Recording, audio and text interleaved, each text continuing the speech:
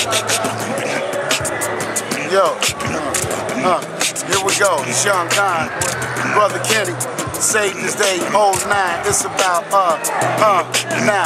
4:45 in the morning before the sun rise. I'm stretching and I'm yawning, opening up one eye. See, it's time for prayer, so I do a ablution, make salat and tell God my problems, cause I know He got solutions. Complete my rock eyes, open up my Quran and read. I believe Allah sufficient for everything I need. See, I'm a knowledge gangster, neighborhood scholar, drinking the valuable information like it's green water. I study iceberg slim and 40 laws of power. Stolen legacy roots and before the Mayflower. And I can't forget the minister or the Willie Lynch letter. Listen to the black man and the coldest winter ever. Carter G. Woodson, Shahrazad Ali, and Shaka Zulu. Cheikh Anta Diop, even Dr. Jawanza Kunjufu. Cause what they write is crucial if you wanna feel God. And study real hard. Study, study real hard.